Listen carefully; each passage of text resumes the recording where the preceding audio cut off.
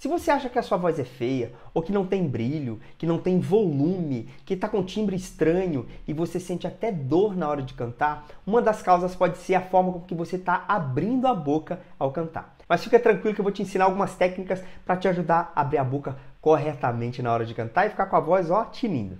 Eu sou Claudio Oliver, especialista certificado em voz cantada. Se você está começando a cantar agora, quer aprender a cantar bem de verdade, e se você já canta faz um tempo e quer desenvolver a sua técnica, você está no lugar certo. Porque aqui o conteúdo é de altíssima qualidade, explicado de forma muito simples, na prática, sem enrolação e direto ao ponto.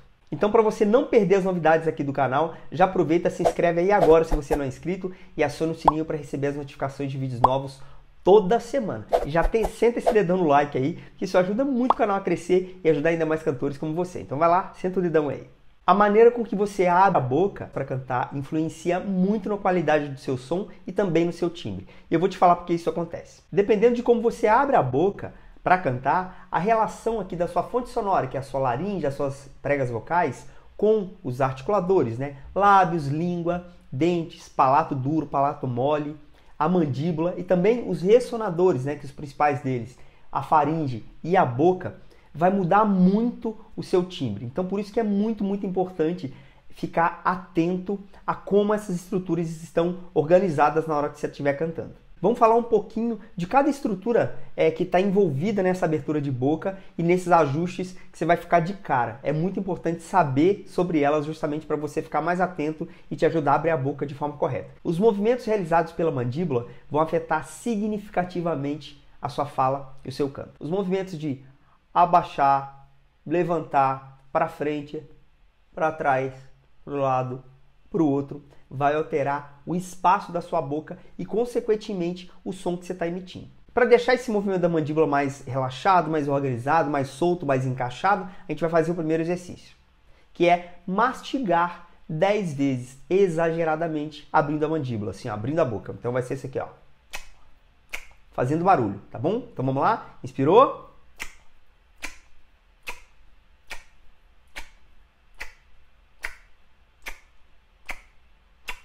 Isso aí.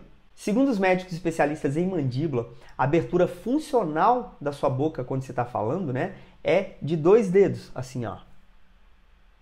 Esse espacinho de dois dedos enquanto você fala, né? Já para o canto, a gente pode ter algumas variáveis, né, para mais, né? Abrir um pouco mais a boca, já que a demanda para o canto é diferente do que para fala. Não sei se você já reparou, mas tem alguns cantores que quando abrem a boca, eles abrem pensando em uma linha reta, entre é, o lábio de cima e o lábio de baixo. Então eles abrem a boca assim, ó, para cantar, ó.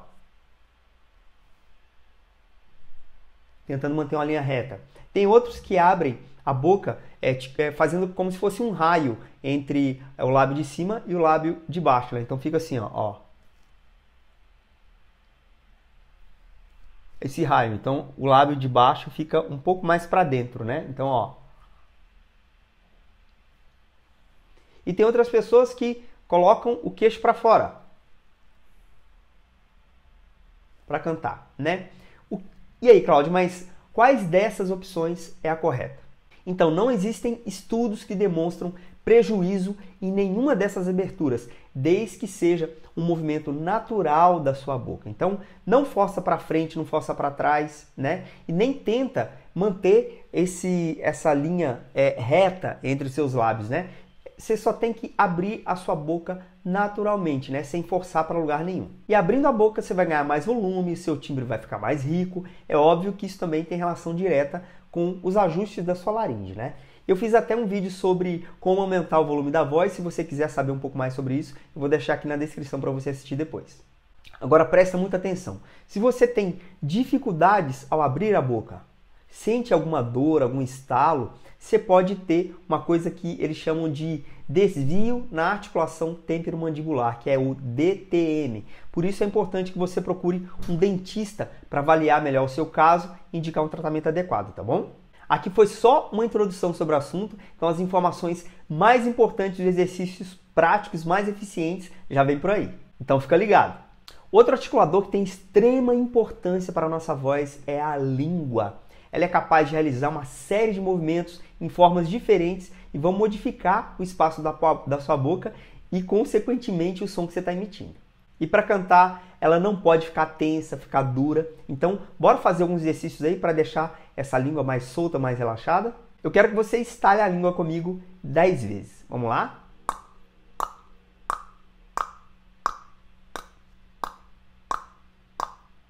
Muito bem. Agora a gente vai girar a língua internamente, né, com a boca fechada, 10 vezes para cada lado, tá bom? Assim, ó. A língua vai passar na frente dos seus dentes, tá? Então vamos lá, 10 vezes para cada lado. Lado de cá. Para mim é o lado direito, eu acho que para você vai ser o lado esquerdo, né? Vamos lá, valendo?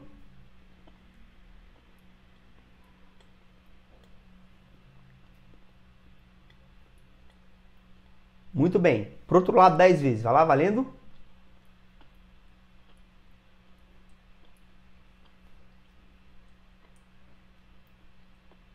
Muito bem. Se você sentiu um pouquinho de dor aí na sua língua, é porque ela não está acostumada a se movimentar. Então é importante que você faça esse exercício justamente para você ter mais mobilidade na sua língua. Agora falar do palato. Você já deve ter escutado a falar sobre o palato, né? Mas o que é esse tal de palato, para que, que ele serve e por que ele é tão importante para o canto?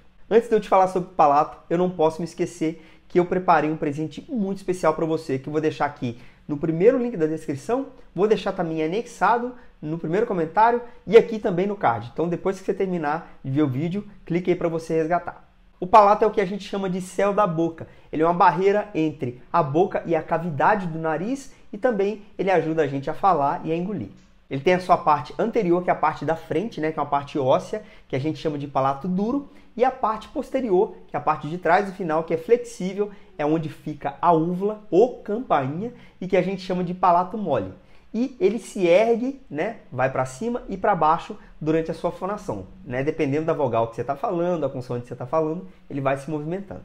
E para você ver esse movimento do palato mole, é só você ir à frente ao espelho, né, Inspirar em bocejo com a boca aberta, você vai ver lá o palato mole subindo e até o sininho se recolhendo assim, ó.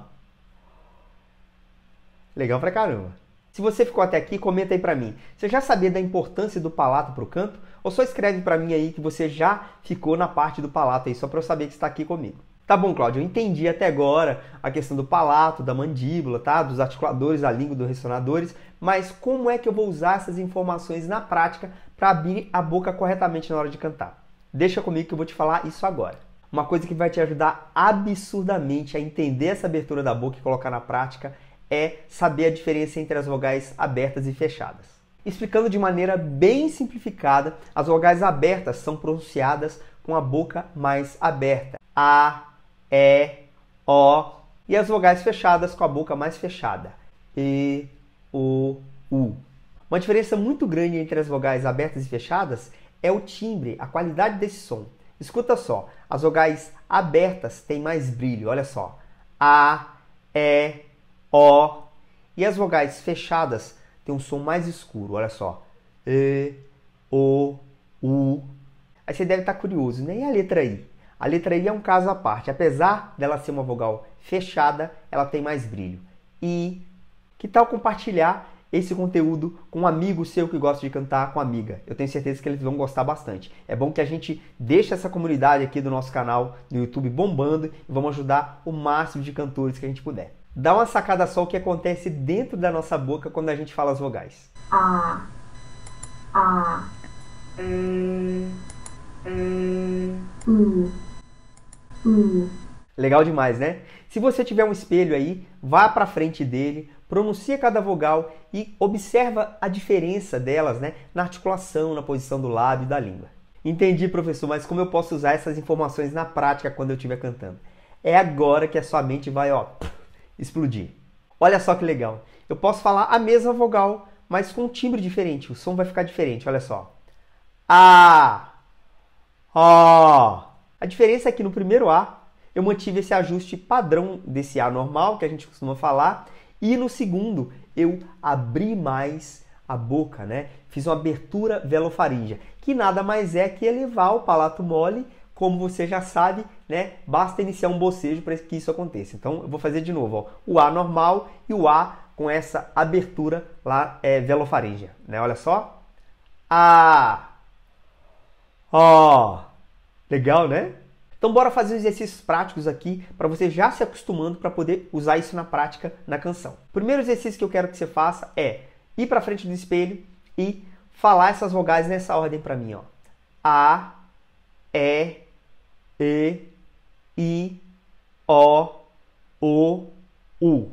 E observar o som que você está ouvindo, a diferença entre cada uma delas tá? E o que está acontecendo na sua boca. Fica bastante atento, né? Tenta identificar a posição da sua língua, como é que está o seu palato mole. Vá fazendo, vamos fazer mais uma vez e tenta olhar para dentro, ficar mais atento. Vamos lá? Na frente do espelho, valendo. Já.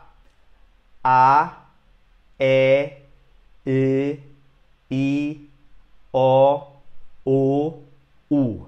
Muito bem. Agora que vem a mágica. Você vai fazer essas mesmas vogais e tentar manter esse espaço em C na boca, né? A sua, é, a sua, seu palato mole vai um pouco mais para cima e aí você vai ter esse timbre um pouco mais escuro, mais cheio, tá bom? Você vai perceber que tem algumas vogais que são mais fáceis de fazer, outras menos difíceis, né? Mas tenta manter esse espaço na boca. Vamos lá, na mesma ordem. Valendo, ó. A, E, E, I, o, O, U. Muito bem, no seu tom de fala, tá bom? Mais uma vez, inspirou? Pode inspirar em bocejo para atacar esse lugar, para você ter certeza que o seu palato mole elevou um pouquinho. Vai lá, inspirou? A, E, E, I, O, O, U. Isso aí. Uma dica muito legal. Se você quiser que seu I tenha, seja menos é, é, tenha menos brilho, menos médio, você pode pensar em I com boca de U, ó. I, I, como no francês. Mesmo que você não conseguiu ir na frente de um espelho agora, refaça esses exercícios na frente do espelho. Isso vai aumentar muito a sua consciência é, em relação à sua mecânica e também ao resultado sonoro de cada ajuste. E na hora de cantar, professor, como é que eu aplico? Eu vou te mostrar agora. Eu vou cantar um trecho de uma música é, com uma articulação é, mas é, sem pensar nesses espaços, você vai ver, vai ouvir um resultado e depois pensando nesses espaços, aí você vai ouvir um resultado muito diferente. Olha só, escuta. Ah, se o mundo inteiro me pudesse ouvir, tenho muito pra contar, dizer que aprendi. Agora olha o segundo. Ah, se o mundo inteiro me pudesse ouvir, tenho muito pra contar, dizer que aprendi. Entendi, professor, mas qual das duas está certa? Agora que é a melhor parte. Regra de ouro. Depende do som que você quer. Entendeu? Então, se você quer um som mais escuro, mantenha mais espaço na boca. Se você quer um som menos escuro, mais médio, articule da forma é, menos exagerada, menos aberta. Né? Pode ser que na música é, você é, vá variando entre uma abertura menos vertical, com menos é, é abertura velofaríngea, né, que atrás mais espaço, né, com a outra mais, né, uma menos e uma mais. Então depende muito do que você quer. Então eu sugiro que você cante a música e vá fazendo esses experimentos até você chegar numa sonoridade que você goste. E aí, o que você achou do conteúdo? Curtiu? Comenta aí que eu quero saber. Se você tiver alguma dúvida ou sugestão de novos conteúdos, deixa aqui embaixo também que vai ser um prazer poder te ajudar. É isso aí, a gente se vê, até!